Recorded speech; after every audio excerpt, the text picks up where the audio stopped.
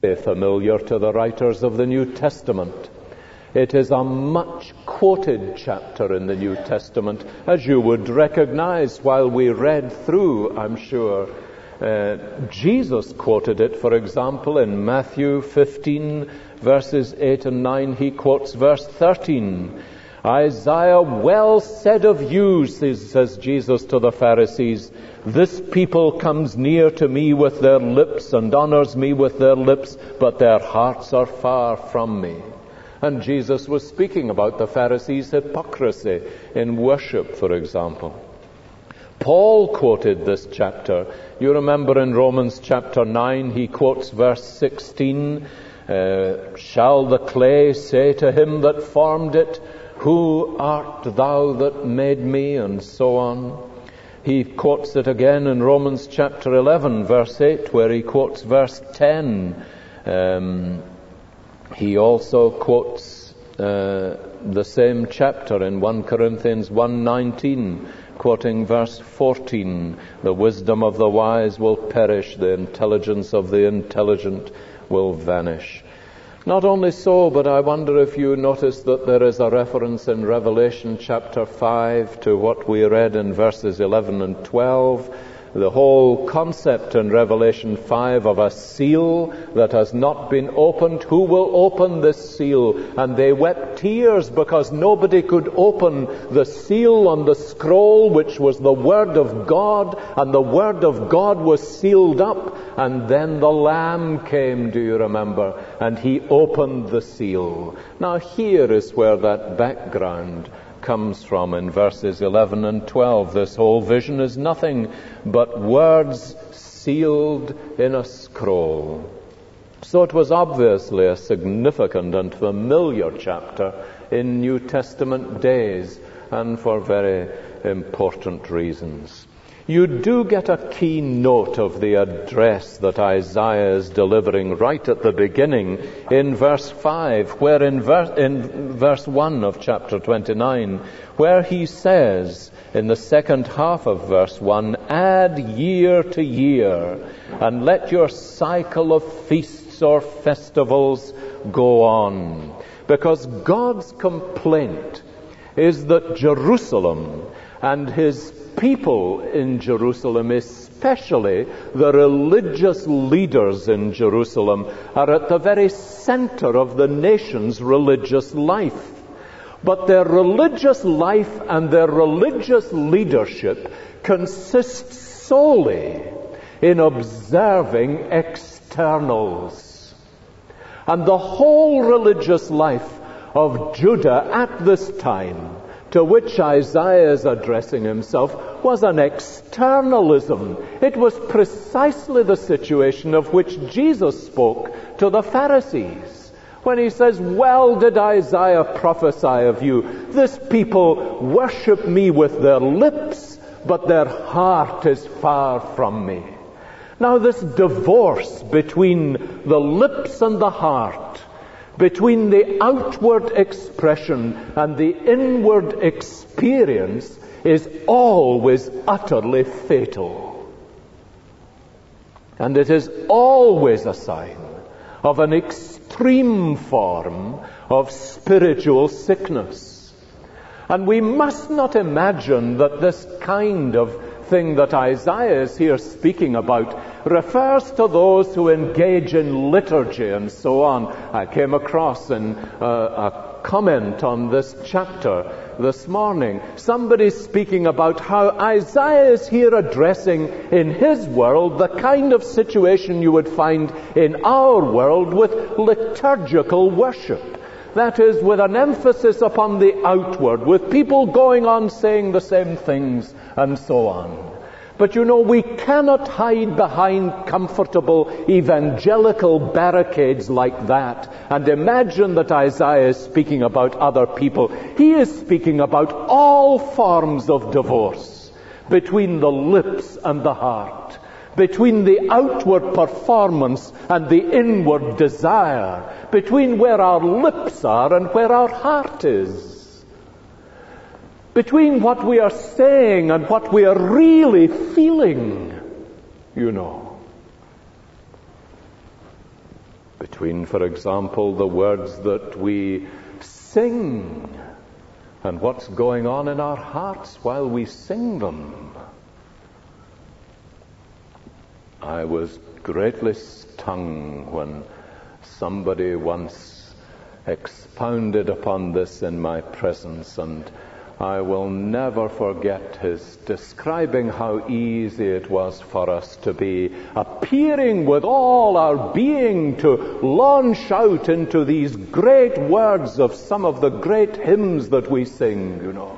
The God of Abram praise. And then looking round and what's actually going on in our mind is so and so is coming in late this morning. Or, oh, there's somebody else, and we go off at a tangent into our thinking about them. Our mind everywhere except upon the words that we are using to praise God do you know how awful it is if somebody is addressing you? Do you ever get this experience when somebody's talking to you, but you know all the time their mind's a thousand miles away? They're probably looking for somebody else that they're actually wanting to speak to, and they're holding you for a moment or two as a kind of anchor just to keep them there, but their mind is somewhere else. We feel insulted by that, don't we, legitimately? And how much more is God insulted when we are addressing Him, but our mind is somewhere else altogether? This is the kind of thing that Isaiah is speaking of. Go on, he says, add year to year, let your cycle of festivals go on. And what they are really doing is refusing the brokenness of heart and the contriteness of spirit that really makes God come to dwell with his people. He will dwell with the broken and contrite of heart. That is where he tabernacles. Now, you may remember from chapter 28, if you were here then, that one of the lessons of that chapter was that if we fail to discipline ourselves, God will discipline us Himself. That is a true principle that runs right through Isaiah. These people in chapter 28 in Israel, in the northern kingdom, are being addressed by God not because they have been using wine, but because they have been indulging themselves, they've been living a life of self indulgence and indiscipline. And the message is that if we refuse to discipline ourselves, God will discipline us. Now, here, the lesson is that if we will not humble ourselves, God will humble us. Notice verse 4.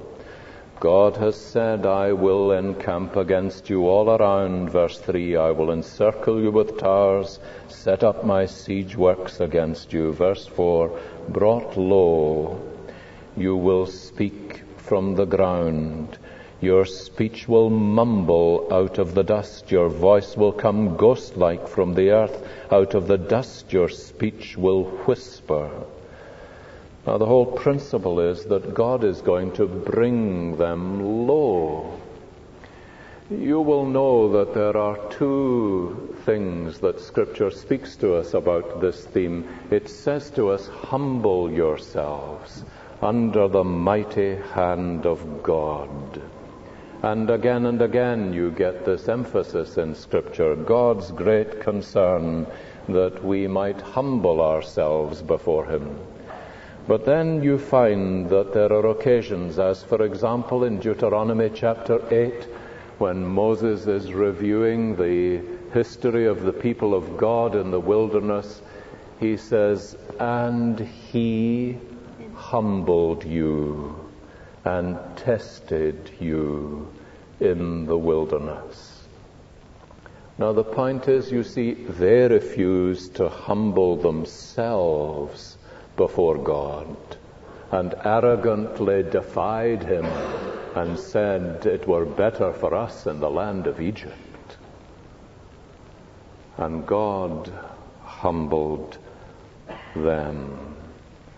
That's a great principle, and it's part of the central core of what Isaiah is saying here. Do you notice how in verse 19, when he is speaking about the day of redemption, what will happen in the day of redemption is once more the humble will rejoice in the Lord. Now, humility here is not really a kind of self-effacing spirit or that quality of life that we think of usually when we use the word. Humility is simply bowing before God's lordship over the whole of our life. To humble ourselves under God's mighty hand is simply to live under His sovereign lordship willingly. That's what it means. And here he says, the humble will rejoice in the Lord. And the principle is those who will not humble themselves before God, he will humble.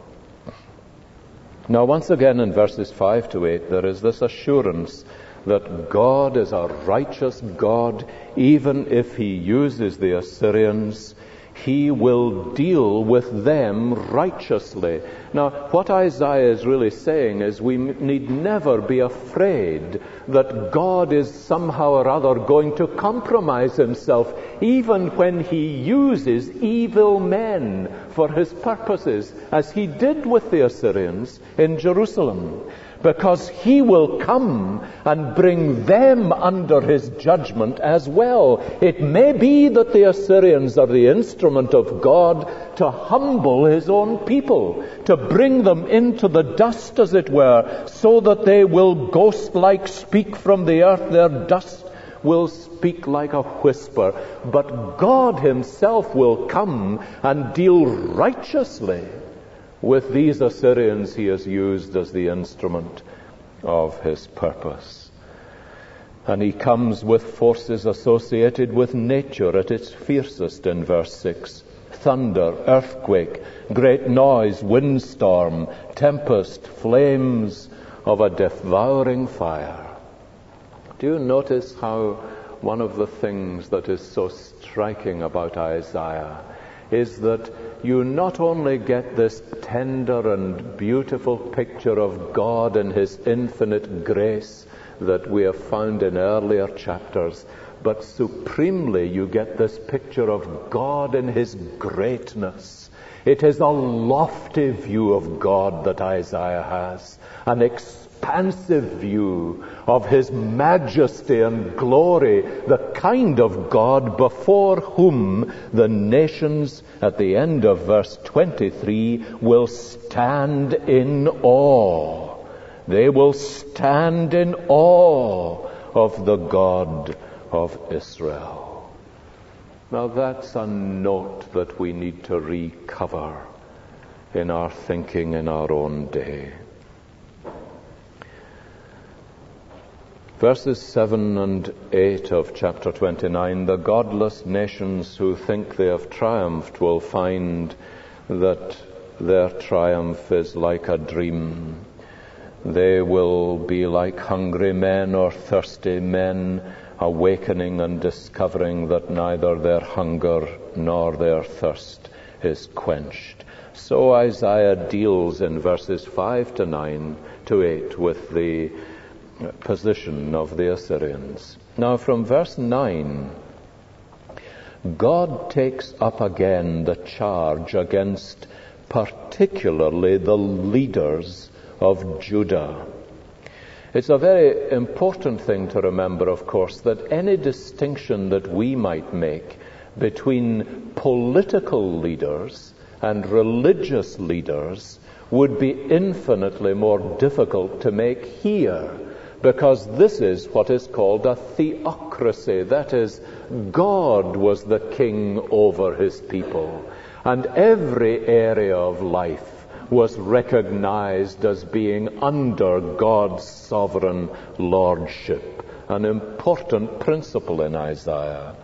And here he is addressing the leaders, but more particularly the prophets and the seers. Verse 10 halfway through. Now, the point about that is that these men whom he is now addressing are the messengers of God's Word, appointed by Him to bring His Word to the nation. And if ever there was a nation that was desperately needing the Word of God in all its power and authority, it was this nation of Judah. But do you notice what is happening? Verse 9 says, Be stunned and amazed. Blind yourselves and be sightless. Be drunk, but not from wine. Stagger, but not from beer. The Lord has brought over you a deep sleep. He has sealed your eyes, that is the prophets. He has covered your heads, that is the seers. Now notice how the messengers of God are described. They are described as stupefied blind, unstable, careless, and without wisdom. And then in verse 11, the word of the Lord is as a sealed scroll to them. Now we would say it was like a closed book. The point is that for these messengers of the Lord, there was nothing in the Word of God that they believed they should or could bring to the people of God. For you, this whole vision is nothing but words sealed in a scroll.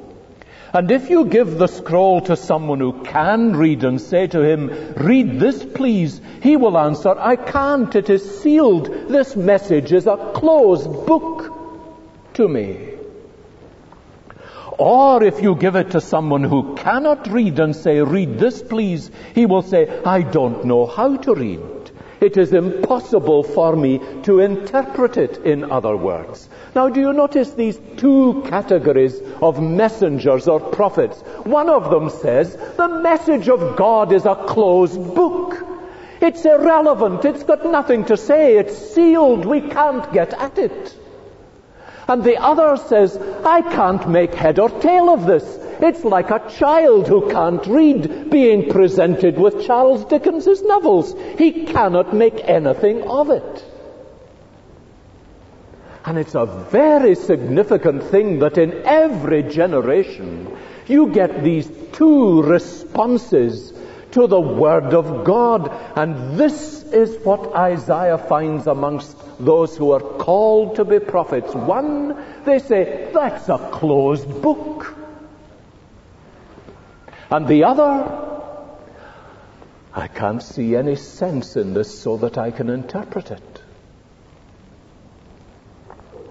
Now, what they are called to do clearly is to open the seal of the scroll and to interpret the writing of it to God's people. If you remember when there was revival in the days of Ezra and Nehemiah, that's precisely what happened. They took the scroll of God's book and they read it, they opened it and read it and gave them understanding so that they should understand what God had written. That was the calling of the prophet. No, it's very interesting that these two things that are described in verses 11 and 12 are still there with us. Some time ago, I was interviewing a student for the ministry and was talking to him about um, the sort of thing he would be planning to do. He was apparently uh, not at all evangelical. My task was not to Uh, inquire about the particular theological position he had, but about what sort of ministry he would be exercising. I said to him, You are going to be ordained to the ministry of the Word and sacraments. Now, what place does the Bible play in your life and in your ministry that you would be beginning? He said, I don't understand what you mean. Well, I said, let's put it personally then. What part does the Bible play in your daily life? None at all, he said. I never open it. I don't see what it's got to do with my daily life. Now I said to him, I noticed from your forms, attempting to appear less shocked than I really was, I said, I notice from your forms that you have preached quite a bit. Where do you go for the material that you're preaching? Oh, he said, I ruminate and meditate and then pass on my meditations. Now, uh, that's exactly what Isaiah is saying. This is a closed book, a sealed scroll. But there's something more serious than that. Do you notice what verse 10 is really saying? People who refuse to see become blind. And people who refuse to hear become deaf. The Lord has brought over you, verse 10, a deep sleep. He has sealed your eyes, the prophets. He has covered your heads so that you can't hear, the seers. For you, this whole vision is nothing but words sealed in a scroll and if you give the scroll to someone who can read and say to him, Read this, please, he will answer, I can't, it is sealed. Or if you give the scroll to someone who cannot read and say, Read this, please, he will answer, I don't know how to read it. Now, that's something that is in no sense ancient. And the reason is that their hearts are far from God. It is not that their minds are not properly trained. It is simply that their hearts are far from God. Verse 13 These people come near to me with their mouth and honor me with their lips, but their hearts are far from me. Their worship of me is made up only of rules taught by men. That is, not by a revelation of God, but by rules taught by men. And they went through the rules, of course, and through the ritual and their hearts were a thousand miles away from God. Now, that's a very important thing for those of us whose task it is to be leaders in the Church of God, but it's of enormous importance for all of us as God's people.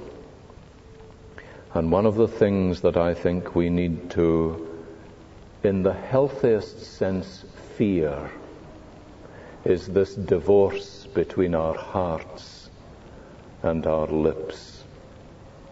These people come near to me with their mouth and honor me with their lips, but their hearts are far from me.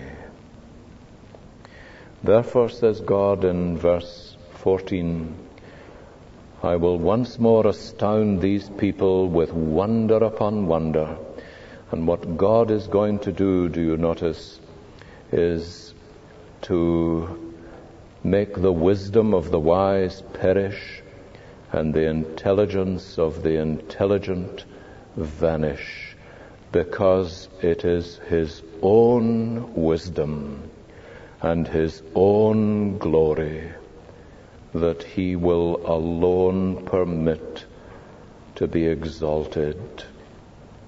And there is no question that uh, one of the things that was involved in the decline of the people of Judah was a pride in their own intellectual prowess.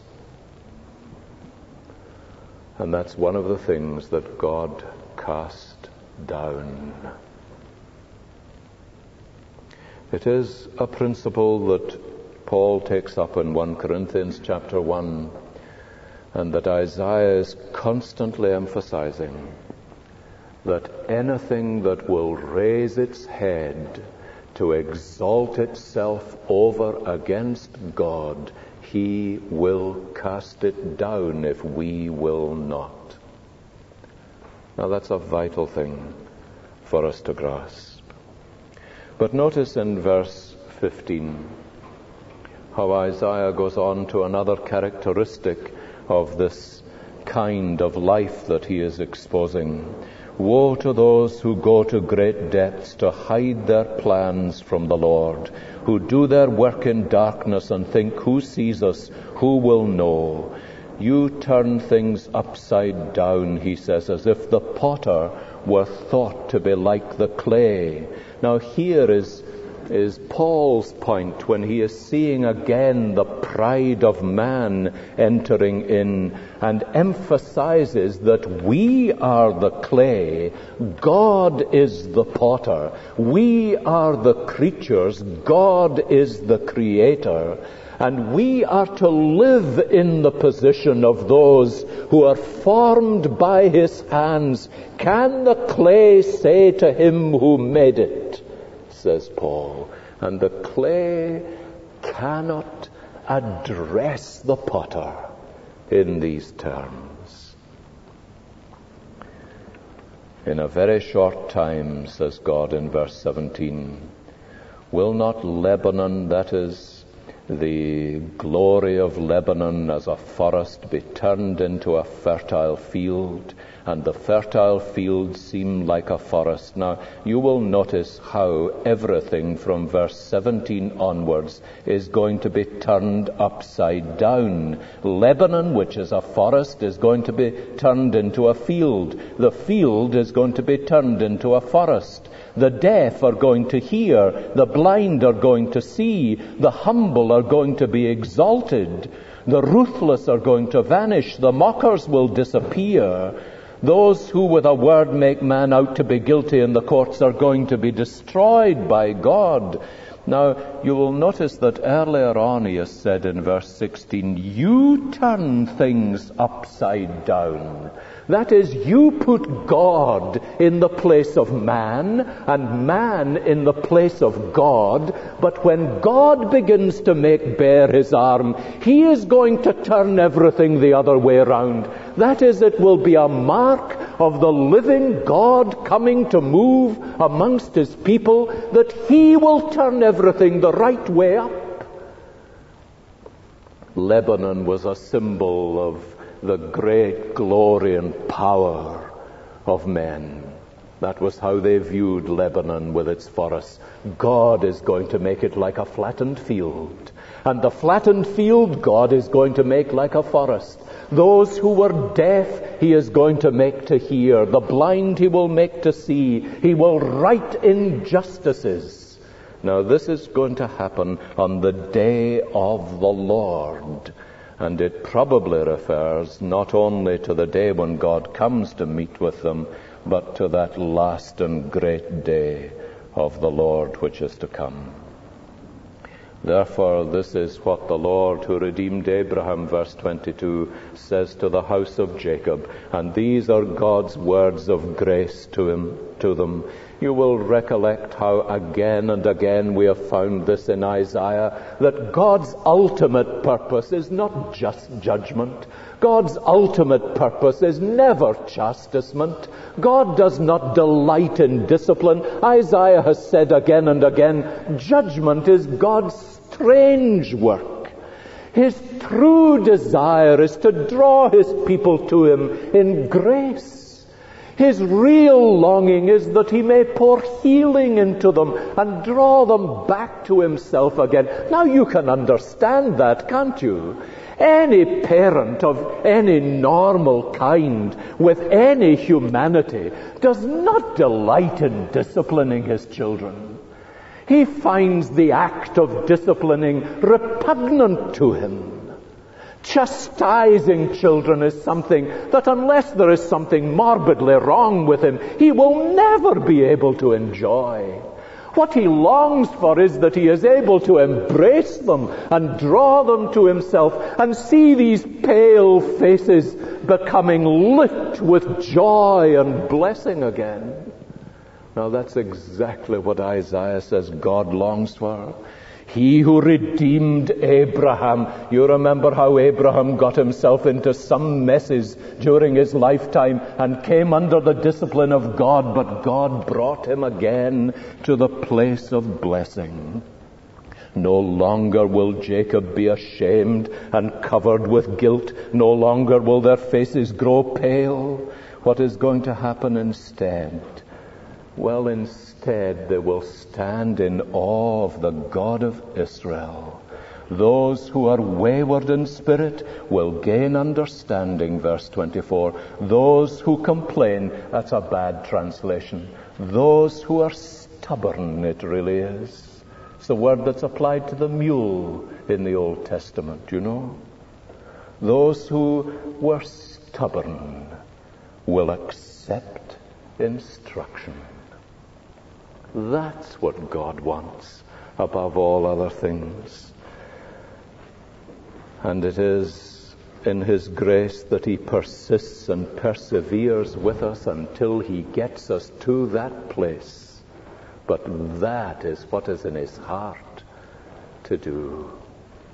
And the trouble God took with Judah to bring them there, and the trouble He takes with us to get us there. But thank God He does. Let's pray together. Father, we thank you so much for your holy word. We thank you for all that you are and for what you have revealed of yourself in Scripture. And now this evening we long that we might learn the lessons that Judah failed to learn for so many generations, that we may be a people whose hearts are right with you, that we may be a people who humble themselves rather than waiting on God to humble them. And we ask that we may gladly give ourselves to you with an openness that will make us walk with you in joy and peace. May your grace and mercy and peace be our portion this night and always. Amen.